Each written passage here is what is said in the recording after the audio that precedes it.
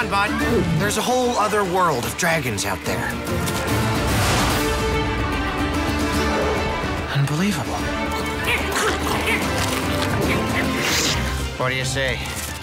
What should we name it? Itchy armpit it is. I was very worried about it. In fact, uh, that's what kept us honest along the way. So nobody wanted to make yet another disappointing sequel, and uh, the, the, the the peril is is very obvious because it's so easy to retread material and not do it quite as well without that sense of discovery that the first film has. Mm. But uh, by picking up five years later, where Hiccup's at a different juncture in his life, and now he's stepping into adulthood with trepidation and kind of looking back at the freedom of his youth and still not feeling quite sure as to who he is and certainly not a carbon copy of his father. It made for a different story and equally universal, but it allowed us to tread new new territory with the story. Very much so. I was a I was a Star Wars kid, so um, I loved Star Wars. And then when The Empire Strikes Back came along, which is one of the few great sequels, mm. I I was blown away. I mean, I, it felt like it it redefined that universe for me, and it took everything that I loved about the first film mm. and made it bigger and more grand, and the scope increased, the the sense of the stakes increased, the mm-hmm. characters got richer, the the humor was funnier, like everything about it was just uh, dialed up, and so we, we kind of set that as the high bar, you know, the thing to aspire to, tonally, mm. and um, along the way we just tried to to keep that same balance of elements mm. within our world. Well, designing dragons is the most fun part of the job. we just sit around with sheets of paper and pencils and come up with different designs that push the idea of what a dragon is. Mm. And I think we have some pretty unique ones, really interesting ones in this one. But we were building upon an idea that was set up in the first film, which is mm-hmm. there, was an, there was a hierarchy mm-hmm. of dragons, and, and the lower rung dragons serve the higher rung dragons. And we got to see that at the end of the first film, where the, the queen of that particular nest yeah. died. But you got to see how sort of uh, tyrannical it was. And in this case, we, we introduce that there are several rungs above that to the ultimate king of dragons, mm.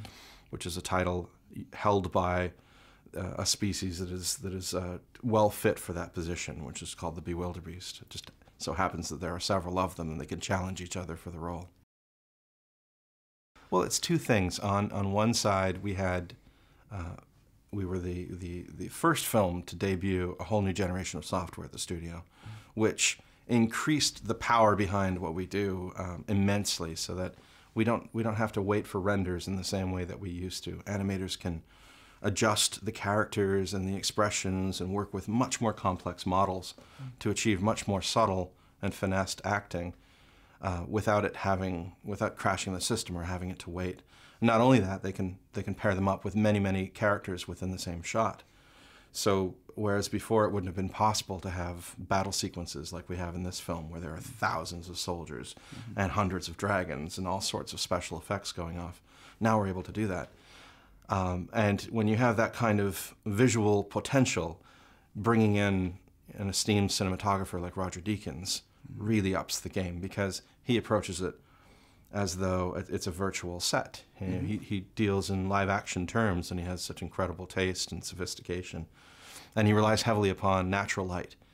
So there's, there is a sense of this very believable, kind of gritty, real, naturalistic approach to the lighting of the film, which defies the, the medium in a way. It's, it's, very, it's very unlike most animated films. It doesn't have a cartoony quality, even though it does have caricature extremely liberating because it means, um, aside from the time that you have to make the film and the budget that you have to really explore those, uh, those, those visual details, there's nothing that holds us back anymore. I mean, if we can imagine it, we can create it, and, and it can look very convincing. So that's, um, that's, a, that's a dangerous idea to have.